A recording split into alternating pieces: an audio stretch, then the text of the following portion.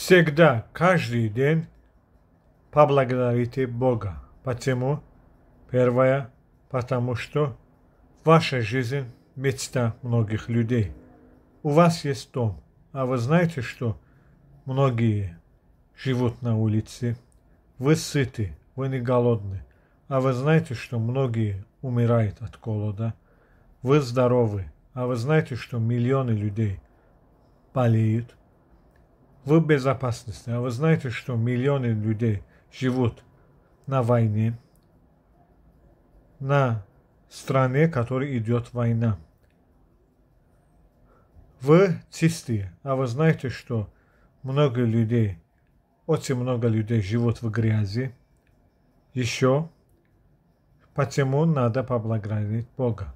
Потому что это дает вам оптимизм. Потому что тогда вы вспоминаете о том, что, что у вас есть. Вы часто забываете это, и поэтому вы становитесь недовольными, вы попадаете в депрессию. Когда поблагодаришь Бога, говоришь, что слава Бога, что я, я здоровый, у меня есть дом, у меня есть еда, тогда становишься оптимист, оптимистом. Это дает оптимизм, потому что ты уже вспоминаешь свои плюсы.